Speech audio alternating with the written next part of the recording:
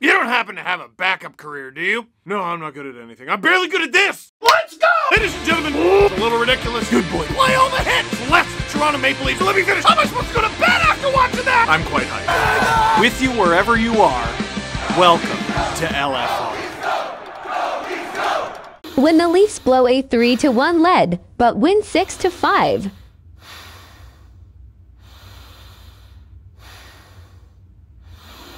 they won. Uh, vi- vic- victory, puppies. Did you get a haircut? It's my thumb. Leafs win! Ah! Six to five over the Saint. It was the St. Louis Blues, was it? All right, no, no. We're gonna do this as fast as possible. We're gonna do this as fast as possible, so you know what it's like to go through my mind. Because Leaf, this is nonsense. It's nonsense what they do to me. What they do to us. We fans are a little extra.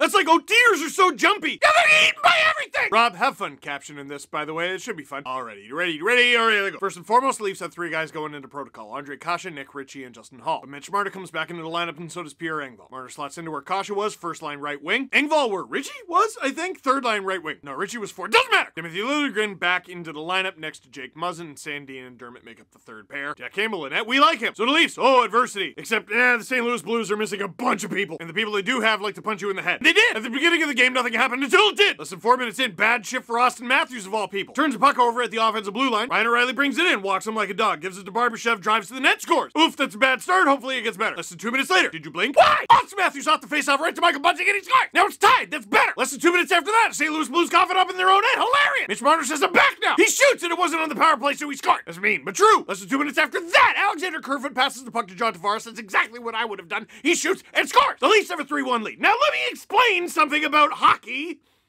That's generally a good position to be in. Less than half a period into this game, the Leafs are up 3 1. They have three goals on eight shots in Jordan Binnington, and there was a stat on the broadcast Binnington has allowed seven of the last 19 shots he has faced from the Leafs go in. Let me explain something to you about hockey that's bad. And the Leafs head into first intermission with a good thing that's a 3 1 lead, and that's a great thing until it's not. Ryan O'Reilly scores 3 minutes and 58 seconds into the first period, and in the second period, he decides, I'm going to beat that, and he scores 3 minutes and 40 seconds in. Leafs try to clear the zone. Doesn't go so well. Jake Muzzin gets crunched behind the net. Puck comes to Mikkola. He shoots it off the end boards, and Ryan O'Reilly scores. Mikkola assists on Ryan O'Reilly's goal. Who's Mikkola? He's the guy who assists on Ryan O'Reilly's goal. Pay attention. Less than two minutes after that. Why is it always less than two minutes? Does this look like good news to you? It wasn't. Brandon And the Blues tied up barely over five minutes into the second. Just under three minutes later, Timothy Liljegren, ah! Liljegren scores his first NHL goal, and Jason Spezza goes to the Blues net and gets the puck, and he says, Timothy, you gotta take a vaguely concerning picture with this puck later. And Tim says, okay. But unfortunately, Liljegren's side was not done. You ever play Super Mario? Very fun game. Nintendo, guy's a plumber. In that game where Mario gets a star, he turns invincible, and then a song plays. You want to hear it? That's basically what the St. Louis Blues did to Liljegren. Grab him, throw him down to the ice. It's not a problem. After that, Kyrou sets up Rob Thomas for an amazing goal because you can do anything when anything is allowed. So the game is tied 4-4 at the end of the second. Do you need a quick recap? I feel like you do. The fans were sad, then happy, then happier, then even happier, and then impending doom, and more impending doom, and then happy again, and then impending doom, and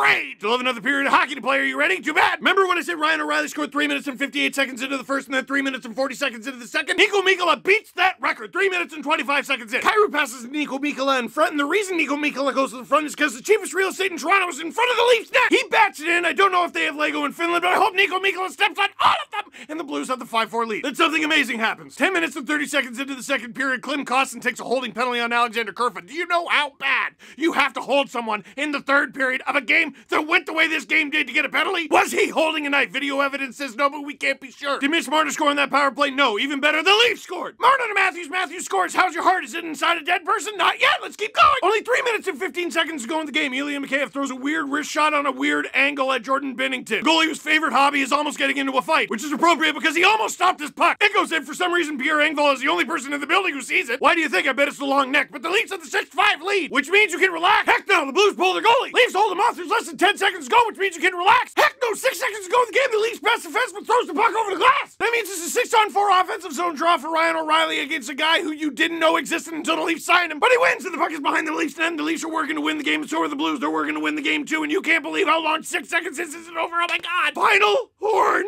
goes. And they win. All right. Class, do you have any uh, questions on the material? Hmm? Uh, ah! This is why I tweet like imagine a moment's peace. Imagine a, Imagine a moment's peace. Watch a Leafs game with Steve Dangle. I'm Steve Dangle. Why did I have to be Steve Dangle? I'm Steve Dangle on the Sportsnet YouTube channel every Saturday. Last weekend, the Leafs blew a 4 1 lead to the Colorado Avalanche and lost on stream. It was the second time that season that the Leafs had blown a 4 1 lead on stream. Today, they blow a 3 1 lead and uh, take the lead and then lose it, and then lose. Uh, the Blues went up, and then the Leafs tied it again, and Mikheyev had the worst game winner in human history. And um, uh, the Leafs won. That's I cheer for that. That's good. Hmm. It's right. We're all happy about that. That's good stuff, man.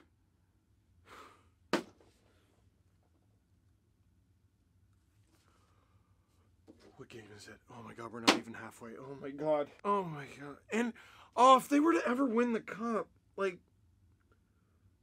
oh, that would take so long. That would. Oh, one round of playoff hockey feels so long. And four would be so much longer. And it'll be agony and torture, and my heart is gonna come out of my chest and like into my throat and then back into my chest and down down by my it's gonna become my third kidney, and it's also the thing I want the most in the world ever is for them to like imagine the second round. I bet it's awesome. I bet I bet there's palm trees and and infinite chicken wings. You just take them out of you know those metal things at weddings and you're like this is too hot. Like why are we all like we're all just to burn ourselves, but that's how bad we want food at this family event. Unless you're at one of those weddings where they they have actually like people standing there who are wearing gloves and you're like, "Honey, I don't think we put enough in the envelope." Hmm. All right. Um mhm. So the good things that happened in this game um well, they battled. You know? Man, like, not everything in life is easy. That's what I learned tonight. And you, you know, it's hard sometimes and you're sad. And but then you work hard and you win, and then you're happy. You feel better. What else? Uh, Mikheyev scored again. That's hilarious. I mean, it's great that he helped them win the game. It's just funny. It happened against Jordan Binnington. And, like, it's funny because he gets mad. And if you judge me for taking pleasure in watching someone when they're mad, I'm to remind you whose friggin' channel you're watching. Uh, what else? Uh, Liljegren had a uh, terrible game. A terrible. Man, look at this dude's face. This is his first goal. Look at look at that. Look at that face. Me too, bro. Me too. I get it. I'm not even here to lambaste you. You're this whatever face this is. He's right. You're at you know, 110%, Tim. But like he did it. You know, right? He did it. He did it. They they won, and he scored one of the goals in the game they won. That's good. It's great. Marner didn't score a power play goal again, which is mean. That one's mean. It's out of date. It's an out of date shirt. It doesn't matter. How can it be out of date when it's just a factual stat? It's a, it's a factual stat that Marner's gone like a thousand games without scoring a power play goal. But it's also mean because you're willfully ignoring the fact that the Leafs power play is one of the best in the league, and he's part of that. You know, like this, I was on board last year when it was bad, super bad. Not the movie, it was awful, and he didn't score. But he passed it to Auston Matthews for the game tying goal in the third period on the power play. Did you see his celebration? Passing's his favorite thing. He'd so much.